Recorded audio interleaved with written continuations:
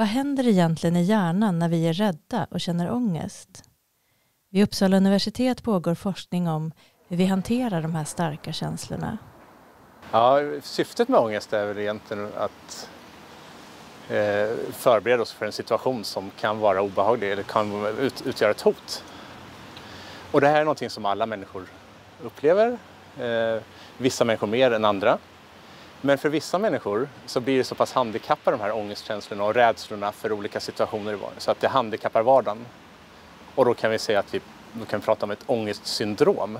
Och då har vi till exempel paniksyndrom, generaliserat ångestsyndrom, social fobi eller specifika fobier för ormar och spindlar. Och så. När vi känner ångest eller rädsla aktiveras kroppens autonoma nervsystem. Vi svettas mer i händerna, pupillerna förändras och hjärtat slår snabbare.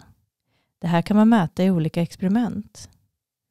Forskarna studerar också vad som händer i hjärnan. Vad händer i hjärnan när vi upplever ångest? Vad händer när vi upplever rädsla? Och hur kan vi påverka så att vi känner mindre rädsla? Att kan hantera de situationer som vi upplever obehagliga. Och i hjärnan så har vi grovt sett en struktur som heter amygdala, eh, mandelkärnan på svenska. Den här drar igång när någonting potentiellt hotfullt Eh, vi ser någonting potentiellt hotfullt någon situation som kan vara skrämmande eller kan innebära ett hot för oss och signalerar det här är någonting som du måste ta hänsyn till. Och så signalerar den bort till andra hjärnområden och så kanske vi upplever den här subjektiva rädslan. Den här sätter också igång kroppen, den reagerar så att kroppen sätter igång sitt flyktsystem eller slåsssystem. Sen har vi andra delar i hjärnan som också läser av situationen. Och det är främre delar här uppe i pannloben till exempel som säger att det här är kanske inte så farligt. Det här har jag varit med om förut. Okej, okay, jag blev lite rädd men jag kan hantera det. Så att den reglerar aktiviteten då i amygdala och dämpar den här eh, rädsloupplevelsen. Och sen har vi en stor, stort mysterium som går ifrån vart sker det här medvetna då? Den subjektiva rädslan, vart sitter det någonstans? Vi vet att de här två områdena är med och styr kroppens reaktioner på det. Men, men själva den här subjektiva upplevelsen, medvetandet, den, det vet vi inte längre. Eller ännu vart den sitter någonstans. Med PET och MR-kamera kan forskarna följa hur olika delar av hjärnan samverkar. De kan också se vilka olika signalämnen som finns i hjärnan vid ångest. Framförallt det som vi har intresserat oss för är tonårsperioden. Så egentligen från puberteten och framåt fram till 25-årsåldern har vi en, en, ser det ut som att människor i den åldern har svårare att lära sig att någonting är säkert efter att de har lärt sig att det har varit ett hotfullt, någonting hotfullt. Ja, det händer ju väldigt mycket under den här perioden i livet också. Det är både socialt, man börjar nya skolor och så. Men det händer mycket i kroppen, pubertetsutvecklingen. Men det, det framförallt vi är intresserade av är också hjärnans mognad. Hur de här olika delarna, amygdala och frontalloben, mognar i olika takt. Så frontalloben brukar man säga att den är inte färdigutvecklad förrän 25-30 års åldern egentligen. Eh, Medan amygdala kanske mognar tidigare så att de har starkare rädslopåslag men de har svårare att reglera sina, sina känslor egentligen. Och det gäller inte bara de negativa rädslorna utan även kanske svårare att se konsekvenstänkare.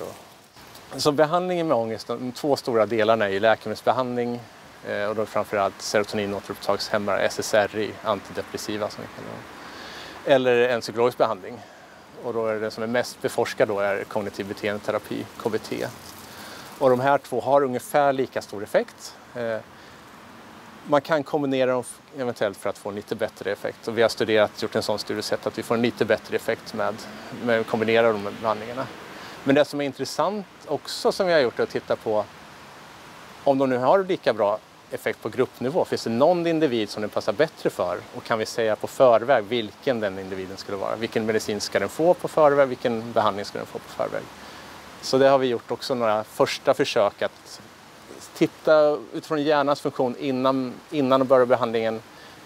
Vilken person skulle svara bäst på vilken behandling? Så att vissa personer som har en, kanske en hög aktivitet, de skulle behöva både kombinationen av eh, KBT och SSRI Medan de som har en lägre aktivitet var, var det bättre att bara få KBT för.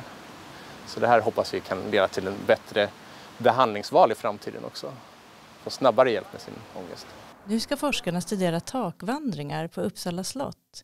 i samarbete med företaget Go Adventure. Eh, det är intressant att studera de som går takvandringen därför att eh, människor i allmänhet är rädda för höjder. Och det vi är intresserade av är att vad folk gör med sin rädsla. För att det är inte bara att man blir rädd utan sen måste man välja vad man ska göra. Så det vi är intresserade av att se, eh, vad är det för olika eh, faktorer som gör att vissa människor vågar sig närma sig en situation som man är rädd för och inte. Och det är det här som vi önskar eh, lära oss av för att kunna hjälpa människor som har en ångestsyndrom eller någonting eh, som hindrar dem i livet för att kunna då eh, förfina metoder för att hjälpa dem att närma sig någonting som är läskigt men som de ändå vill klara av att göra.